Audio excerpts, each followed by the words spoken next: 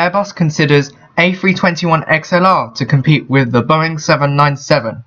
Hey everyone, I'm Aviation Geek 18 here and today we will be discussing about the A321XLR extra long range to compete with the Boeing 797. There have been reports of Airbus considering creating an XLR version of their A321 aircraft, ahead of the future release of the Boeing 797 middle market aircraft.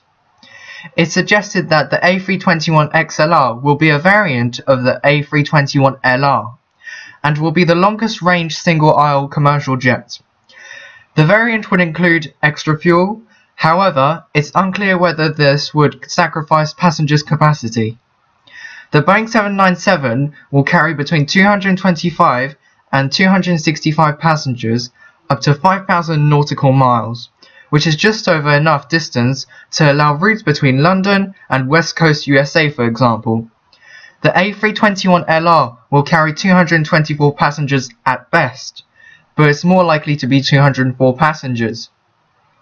Boeing tried to create a Rush 797 with their 737 MAX program. However, the aircraft's range was simply not long enough and couldn't carry enough people. And I think the A321 XLR, if it comes together, will not sell very well, as companies will either opt for the A320 or A321, or the Boeing 797 or Boeing 787 Dreamliner. Airbus refused to comment saying they don't report on their product policies. The aircraft would be aimed at North American carriers for transcontinental north-south routes and transatlantic routes. Some reports have hinted at a longer fuselage and improvements to the wing, as well as more fuel capacity in the A321 XLR. Boeing sales chief said last week that they were going to decide whether to launch the aircraft after claims that the company is dragging its feet with the program.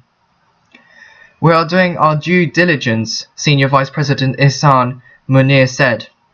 The jet is widely expected to be develop, developed sorry, in two versions. Boeing is looking at a product that is a little bigger than the A321, but goes a lot further, and about the size of the A330, but has a lot better efficiency, he said.